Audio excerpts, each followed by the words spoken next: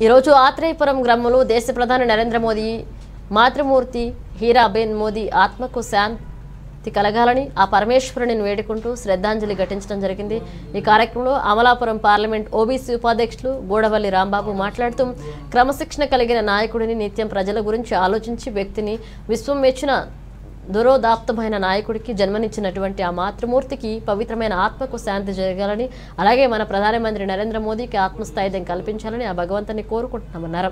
ఈ కార్యక్రమంలో అమలాపురం పార్లమెంట్ జిల్లా బీజేపీ ట్రెజరర్ చేకూరి రమేష్ వర్మ జిల్లా IT cell convener Suresh Varma గ్రామస్తులు తదితరులు పాల్గొన్నారు.